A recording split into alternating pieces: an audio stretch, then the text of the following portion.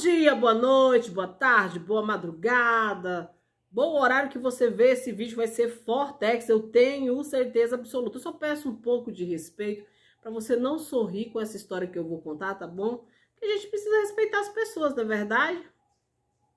Hã? Hã? Sei. Vamos falar, gente, sobre o cantor gospel, que disse que tinha saído da vida do homossexualismo e de repente tudo desandou, né? E aí a gente fica triste dessas histórias, na é verdade, porque as pessoas colocam a sua fé não em Deus, mas nas religiões. E Jesus veio e não veio com placa de religião na testa, né? Veio para trazer realmente algo chamado principal que é salvação. O intuito de Jesus, quando ele veio aqui, gente, foi para trazer salvação para mim e para você. Não foi para te dar um carro, te dar uma casa, te dar uma mansão, te dar uma malote de dinheiro. É claro que sem dinheiro a gente não vive. É tanto que as mulheres ricas é quem ajudava o ministério de Jesus. E ele tinha o quê? Fala para mim. O que, que ele tinha? Hã? Hã? O que, que Judas era? Fala aí para mim o que, que Judas era. Judas é que cuidava de todo o dinheiro, né? Jesus, o que que ele era? Diga aí para mim embaixo que eu vou saber aqui de pessoas que realmente lê a Bíblia. Gente, vamos cantar a história desse cantor gospel, que infelizmente não gosta de falar disso, mas vim falar disso agora. Hã? O quê? Sei, mentirosa, fofoqueira. Cara, essa hora da noite, Judas era tesoureiro. o que eu vou ganhar? Uma bala? Uma balinha de doce? Hã? Por que está me metendo nessa história? Porque você é intrometida. Só por isso. Então você não se envolveria. Vou falar sobre isso agora, mas eu peço para vocês já se inscrever no canal, ativar o sininho, exatamente para toda vez que tiver um vídeo novo você receber as notificações. As notificações, Rony Clay, ativar o sininho para receber o vídeo. então assim, porque eu não meus remédios ainda, já é final de noite, né? Ótima semana para todos vocês, todos vocês. Tá ok? Que a semana seja muito abençoada, cheia de muita axé, vibração boa, paz do Senhor, a paz de Deus, muita energia positiva. Conta logo a história dele, a gente quer saber. Até comendo minhas unhas já. Safira sentada ali, o Hulk só com os ouvidos desse tamanho ouvindo, o Rony Clay do lado, abrindo a boca. Doido pra dormir, todo mundo com sono. A gente parou pra ouvir a, a história do cantor gospel. Conta, Cléo Gente, um amigo meu, há mais de 20 anos, né? É, há mais de 20 anos, entendeu? Se converteu ao evangelho muito cedo. E aí foi por esse lado, né? Do homossexualismo. Sempre gostou, é, desde criança e pequeno. Eu também amava tomar uma mamadeira. Mas ele conseguiu tomar mamadeira até depois dos 18 anos. Quando ele via uma no mercado, ele dizia: Eu quero mamar, eu quero. Vamos processar a Cleo Loyola com essas histórias, gente. Eu já chamei minha mãe. Quem quiser, pode vir comigo. Gente, um amigo meu que trabalhava na cidade de Búzios, né? E aí ele resolveu casar, casou. Mas ele sempre realmente gostou do outro lado da vida, né? Que a gente sabe, gostou de outros homens, outros meninos. Mas sempre foi meu amigo, ele resolveu casar. Por que tô de novo repetindo essa história? Não ria, eu não sorria, porque é assim, é assim. Casou, teve aquela festança na região dos lagos, teve o primeiro filho. No primeiro filho, de novo, foi pro retiro, de repente encontraram ele de novo lá com a mamadeira, entendeu? Vocês estão me entendendo, né? O rapaz vivia com a mamadeira do lado, mesmo depois que casou. De repente, gente, ele fez o segundo bebê, e aí caiu em duas mamadeiras em plena praia do Cabo Frio. Plena praia do Cabo Frio. O que, que eu quero dizer isso para vocês?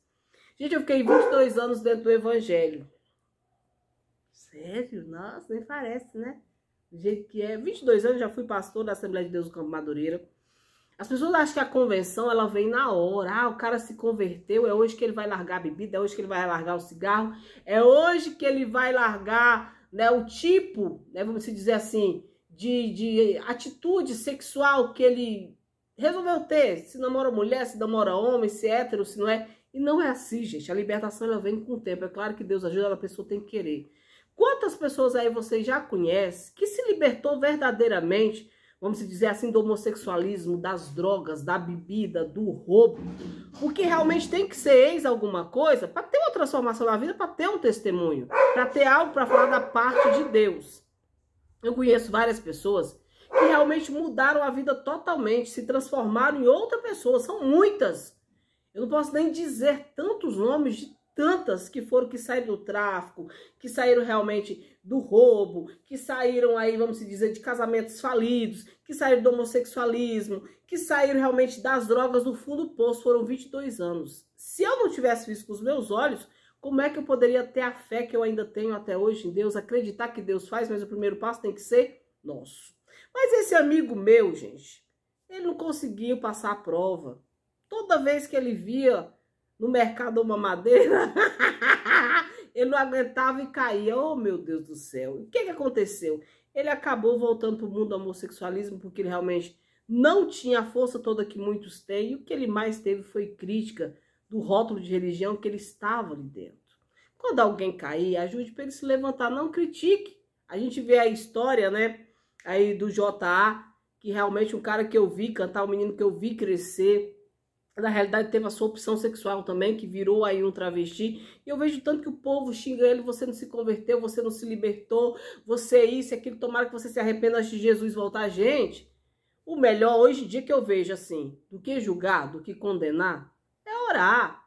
Cara caiu, mulher caiu, ore para que ele se levante. A Bíblia diz que não é por força nem por violência, é por amor. O amor cura tudo.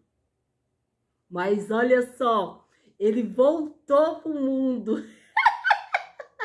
e hoje ele trabalha comigo, não é verdade? Mas será que é o Jojo? Meu Deus, será que é o João, meu amigo? Gente do céu, o João passou por Cabo Frio. Será que é ele que teve filhos e tudo mais e voltou para a vida da de libertinagem? Meu Deus, não tô acreditando. Essa história parece um pouco a dele. Cléo Loyola, Cléo Loyola, você vai acabar levando os processos por causa disso. Ele também tem dois filhos. Meu Deus, será que é três ou quatro, cinco, seis? Eu nem me recordo, mas ele sim, gente, era um cantor evangélico, cantava muito nas igrejas, a voz maravilhosa, mas aguentou a prova e voltou para trás. Não, acho que ele seguiu o coração dele e hoje realmente ele está vivendo com outro homem e glorificando a Deus e acreditando na esperança que há no seu coração, que é a fé. Perante a Bíblia, a gente sabe muito bem o que ela diz, né? A Bíblia é bem clara sobre o homossexualismo. A Bíblia diz que Deus odeia o homossexualismo. E a Bíblia é a boca de Deus. Então segue quem quer e muda com tempo e paciência e com muito amor. Gostei de você hoje, cara. Você tá tão branda. Volta para a igreja, vai. Volta a pegar. Você vai conseguir muitas almas para o reino do céu da maneira que você tá indo. Beijo para vocês. Uma ótima semana. Que Deus possa abençoar. Menos ódio e mais o amor, porque o amor cura tudo. Conta o nome do cara, você não contou? O nome do cantor gospel lá de Cabo Frio era aquele meio gordinho. O Jojo já também já foi gordinho. Conta pra nós, Loyola. O que você não quer contar? Malvado, deixa a gente curiosa.